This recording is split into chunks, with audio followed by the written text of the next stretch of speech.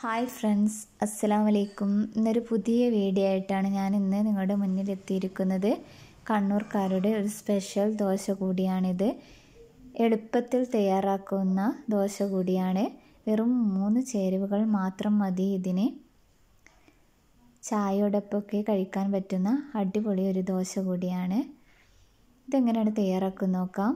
അതിനായി ഞാനിവിടെ ഒരു കപ്പ് അളവിൽ മൈദ എടുത്തിട്ടുണ്ട്. ഇനി ഇതിലേക്ക് ചേർക്കേണ്ടത് ഒരു മുട്ടയാണ്. മുട്ട ഇതിൽ എന്തായാലും ചേർക്കണം. ഇതിന് മെയിൻ ഇൻഗ്രീഡിയൻസ് എന്ന് പറഞ്ഞാൽ മുട്ട തന്നെയാണ്. ഇനി ഇതിലേക്ക് കാൽ ടീസ്പൂൺ ഉപ്പും കൂടി ചേർത്ത് കൊടുക്കാം. ഞാനിവിടെ ഒരു ഗ്ലാസ് അളവിൽ വെള്ളം എടുത്തിട്ടുണ്ട്.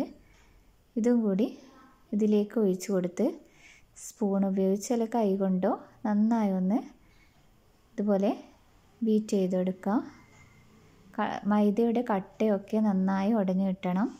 ഈ പരുവത്തിൽ വേണം ബാറ്ററി ആവാൻ. പിന്നെ ഒരു തവ ചൂടായി കഴിഞ്ഞാൽ ചെറിയ വട്ടത്തിൽ ദോശ നമുക്ക് ചുട്ട് കൊടുക്കാം.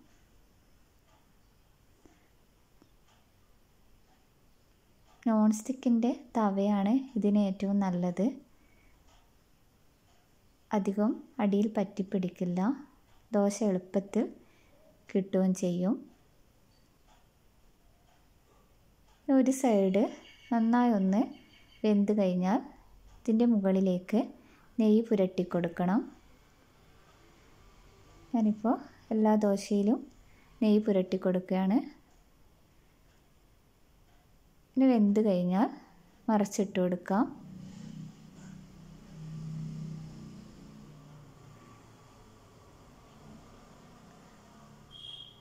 ഇനി വെന്ത ദോശ എടുത്ത് ഇതുപോലെ പഞ്ചസാര വിതറിക്കൊടുക്കാം.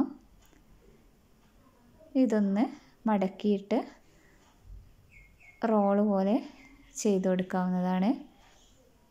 മടക്കിയിട്ട് കൊടുക്കാം ദോശ. ഇതുപോലെ മടക്കി വെക്കാം. ഞാനിവിടെ എല്ലാ ദോശയും ഇതുപോലെ റോൾ ചെയ്ത് എടുത്തിട്ടുണ്ട്. എളുപ്പത്തിൽ തയ്യാറാക്കാവുന്ന ദോശയാണ്. എല്ലാവരും ഒന്ന് ട്രൈ ചെയ്ത് നോക്കണം. എന്റെ വീഡിയോ ആദ്യമായിട്ടാണ് കാണുന്നതെങ്കിൽ ലൈക്ക് ചെയ്യുക ഷെയർ ചെയ്യുക അതുപോലെ തന്നെ സബ്സ്ക്രൈബും കൂടി ചെയ്യണം.